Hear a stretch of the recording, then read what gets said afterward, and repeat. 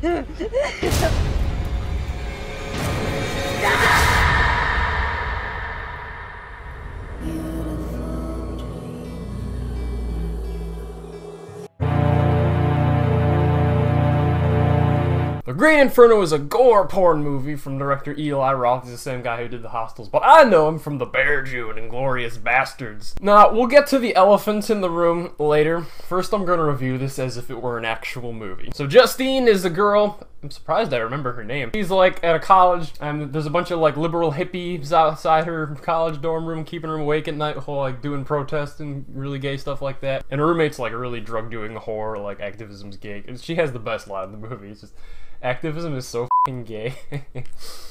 Completely agree. Finally, somebody speaks my language. This movie is so conservative. It's awesome. It's hilarious. The moral of the movie is don't care about the rainforest because that's stupid. And the people who do care about the rainforest all get killed. So she meets up with this group and they take it really, really seriously. Like, we gotta protect the environment, like an entire rainforest, and the indigenous tribes who live there will all be destroyed. And they go on a trip to go save the rainforest. And then they proceed to carry out the stupidest, most half-cocked plan to save the rainforest. I could probably think of. And they all get exactly what they deserve. So the acting and the lines are, it's, it's it's really bad. The only thing the actors can like actually portray is being scared. Like the looks on some of these girls' faces are pretty they're they're convincing. They're like you are clearly very terrified, and you kind of should be. So that that's about the only thing they can effectively convey. Uh, and one of the guys is just being a dick for the sake of being a dick. You son of a bitch! I'll effing kill you! You effing son of a bitch! It was so funny. And that is the biggest problem with this movie. There are two possible themes Eli Roth could be going for here. Yes, am I analyzing the Green Inferno too much? Probably, but. You can either go A, completely over the top, ridiculous, funny, laughable violence, or two, like an actually serious, scary, threatening horror movie. And the problem is that it jumps between them way too often. It's like he really should have picked one and stuck with it. So their plan to save the rainforest ends up with the girl getting a gun to her face and she's like, oh my god. So after they do their little plan thing and they get back on the plane, they're all drinking and booze like, we did it. So she's just sitting there like all quietly and looking like all terrible and everybody else cheering and laughing. Like that was a good moment. I'm like you you're assholes. Look at her. Look what you did to her. And then the plane immediately crashes and there are some of the funniest deaths i've ever seen. And the part where they first get captured by the natives they're all like covered in blood and they're screaming. They were just putting their hands on them like that was that's scary it's like look at them they're like ah! there are a couple of good scares in this movie but then there's stuff that is just so stupid. It's hilarious. When the girl cuts her throat with the thing that was that was good. But immediately after that a guy starts jacking off. And then the guy's like you sicko you effing sicko. And then he like attacks him and he's still jacking off while he's trying to hit him. And at the end with the teeth I, I didn't expect that. I'll admit that was gimmicky but that that got me. Like after the first guy gets killed when everybody's thrown up and they're like oh this is sick. This is horrible. And then so it, it, it keeps that like serious realistic feel for a bit but then one of the girls is like, oh, I'm really sick. And then she just starts shitting her pants. And the sound effects had everyone in the theater laughing their ass off. And the fact that she didn't pull her pants down, she just went.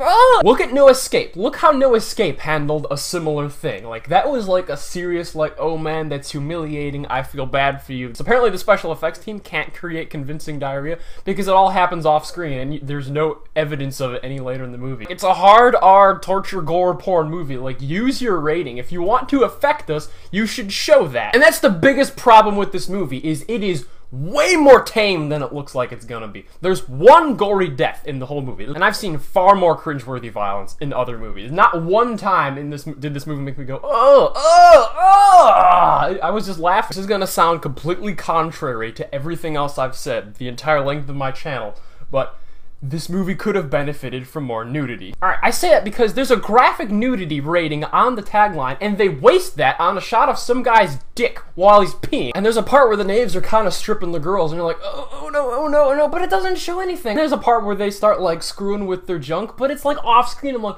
what are they doing? It's confusing. If you showed that, we would be like, oh, you sit in like tension for the ha first half of this movie because you're anticipating things that never happen. This whole movie is building up to some female genital mutilation. Like, it says that in the beginning. And it's all like, oh, oh, oh, but that never happens. And the one part in the movie where you might maybe think it might happen, the camera is so close up like on her hip and fuzzy and shaking. You can't see anything. Nudity can be intimate, vulnerable, and humiliating, but it never is in this movie. To get that feel like you're you're horrified for these people, but you don't care. I said you, I said you, I'm sorry, I didn't care. And with that, any tension or fear Eli Roth was trying to accomplish with this movie was completely gone. And with that aside, the reason you probably went to see this movie is gratuitous violence and nudity. And I was talking with some of the other people in the audience afterwards, like, yeah, the Hostel films were way worse. All right, yeah, and I know my Christian subscribers are like, you traitor, how could you see this movie? Is it a sin to watch a movie like this? No.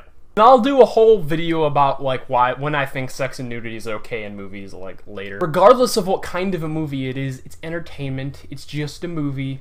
If you can differentiate between reality and film, you're fine. Are you an effed up psychopath if you like this movie? Probably not. And in one of the promotions for this video, Eli Roth is doing like a top 10 cannibalism films of all time thing. And I was talking in the comment, and everyone's like, oh, oh, the graphic violence isn't censored, but the nipples are. Psh, that makes sense. And that really bugs me because, like, no. Seeing graphic violence does not make you want to commit graphic violence. And if it does, there is literally something wrong with you. However, seeing like erotically charged nudity can like turn you on, and that's lust and all of that, and that's that's bad. That's more controversial. You know my thoughts on that, but uh, that's from religion, so not everybody's okay with that. But that is why. That's why that needs to be censored in the YouTube video. And again, it's YouTube because if you start doing that, then YouTube becomes a porn site. There are little kids on YouTube, man. Have some decency. In the end, I thought The Green Inferno was very dissatisfying and did not fulfill any of the promises the trailers made.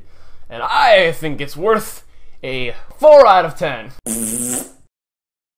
Thank you for watching. I'm Wesley Thompson. Like, share, subscribe, and comment if you'd like to join the crusade to plague. Damn it, plague isn't really a verb, is it? If you'd like to embark with me upon a crusade. This, this whole channel is falling apart!